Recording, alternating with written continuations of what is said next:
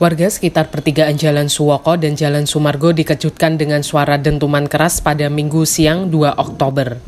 Suara tersebut berasal dari rubuhan gedung asrama haji IPHI Lamongan.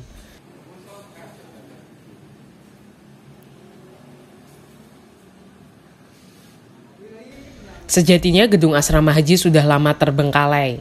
Gedung yang diresmikan pada Juli 1999 tersebut sudah tidak terpakai selama hampir lima tahun. Sampai gedung tersebut rubuh tidak ada perbaikan dan perawatan yang dilakukan. Karena itu juga saat gedung rubuh tidak ada warga yang berada di dalam gedung sehingga tidak timbul korban jiwa. Tim Inavis Polres Lamongan langsung bergegas memasang polis lain di lokasi kejadian.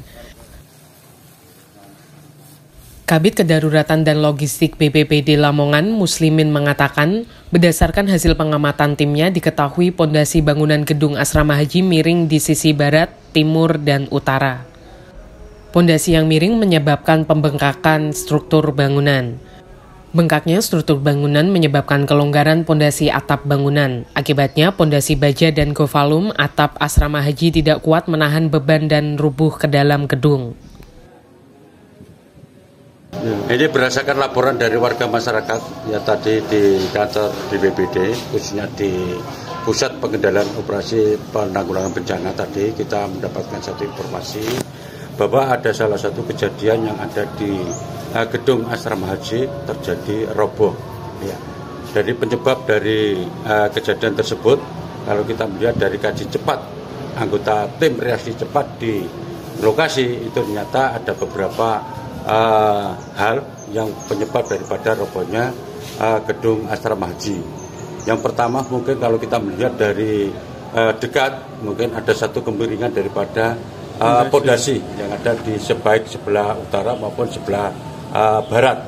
Ini ada pembengkakan ya, ada pembengkakan sehingga akan terjadi robot di di atas atap anjlok ke ke bawah. Nah ini yang terjadi sehingga semuanya yang ada di gedung asrama haji ini roboh semuanya. Padahal di situ ada konstruksi baja dan kafalum dan segala macam itu. Itu ada ke, satu kekuatan yang menyebabkan daripada robohnya daripada gedung uh, asrama haji. Itu yang bisa kita lihat secara dekat di lokasi kejadian. Pak dalam waktu dekat ini apa yang dilakukan Pak? Bagaimana? Dalam waktu dekat ini untuk evakuasi ini? Nah, ini nanti kita koordinasikan dengan pihak yang terkait. Ini karena merupakan satu yayasan asrama haji, maka kita akan konsultasikan uh, ke pihak-pihak yang berwenang untuk menangani pada pada yayasan uh, asrama haji.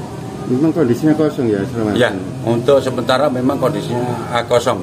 Ya. Alhamdulillah untuk saat ini memang nggak ada yang yang ada warga maupun masyarakat yang ada di dalam gedung asrama haji. Muslimin melanjutkan timnya akan berkoordinasi dengan pihak-pihak terkait, utamanya yayasan pemilik asrama haji. Untuk sementara ini, kerugian material belum dapat dihitung totalnya. Gamal Ayatollah, Anjar Dwi Pradipta, Lamongan.